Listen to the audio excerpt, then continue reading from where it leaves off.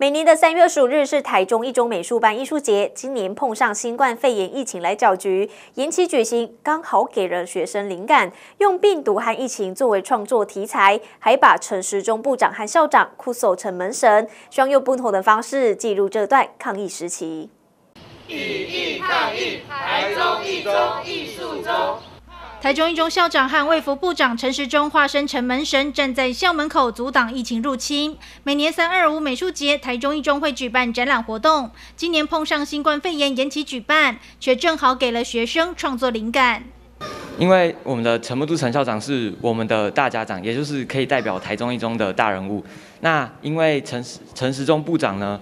他这次对抗疫情可以说是对抗了十分的成功，所以我们就决定融合这两位大人物，然后做成我们的门神。刻意用简体字的反缝布条和金纸做成的口罩形成强烈对比，或是大量使用红色，要表达内心激动澎湃的情绪。学生们的创意发想，用不同的方式记录这段抗疫时期。我觉得红色是一个日常可能比较不会。比较不会出现的颜色，但是对于内心来说，它是感觉是一个澎澎湃或者是热血，就是那种很激动的一个。情绪这样子，然后至于手脚的话，我是想要专注在于一些肢体语言。金子其实代表死亡，那口罩是我们遮住口鼻，但同时我们也遮住了我们想要知道真相的意愿。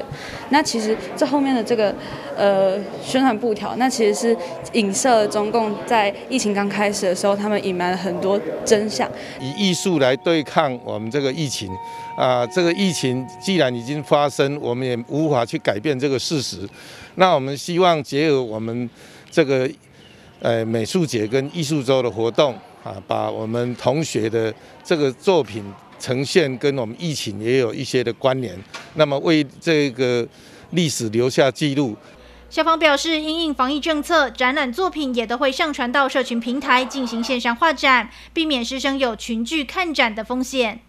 记者张伟林台中采访报道。